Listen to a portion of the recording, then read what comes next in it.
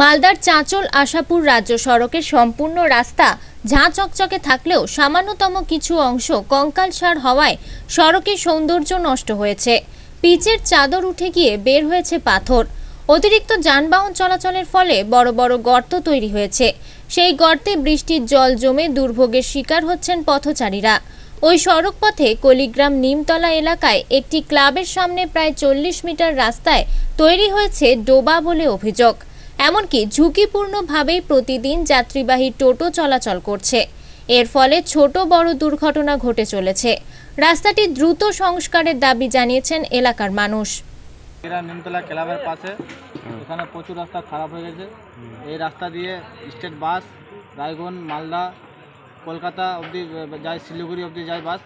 এখানে প্রচুর রাস্তা খারাপ আছে। এখানে এখানে বেরিয়ে বেড়াই যেতে পারছে না। কেউ রাস্তা দিয়ে এপার থেকে ওপার যেতে পারছে না। কোন সময় যে দুর্ঘটনা ঘটে যাবে বলা মুশকিল আছে। আপনারা কি চাইছেন? আমরা এখানে চাইছি আমাদের যে- যেন এটা রাস্তাটা ভালো হয়। এখানে বর্তমানে কি ও- কি হয়ে আছে রাস্তাটা? এখানে তো প্রচুর খাল হয়ে আছে রাস্তা। খাল হয়ে আছে এ- এটা দিয়ে চলাচল করতে পারছে না লোক। জ- জল জমা আছে? খারাপ হয়েছে একদম সামনে। কি অবস্থায় আছে? প্রচুর অবস্থা খারাপ হয়েছে পুরো জলে ভরা এক হেঁটুয়া জল। বাইক নিয়ে যেতে কি বাইক নিয়ে অসুবিধা মনে হয় বাইক আপ মাথায় করে নিয়ে যেতে হবে এরকম অসুবিধা প্রচুর অসুবিধা। এক হেঁটুয়া জল মাথায় কাদা পানি পড়ছে কখনো সাইডে পড়ে যাচ্ছে কখনো মধ্যে পড়ে যাচ্ছে খাল হচ্ছে মোটামুটি কোমর পর্যন্ত জল আছে ওখানে। কি চাইছেন? কোনো সিদ্ধান্ত হচ্ছে না বারবার মেম্বারকে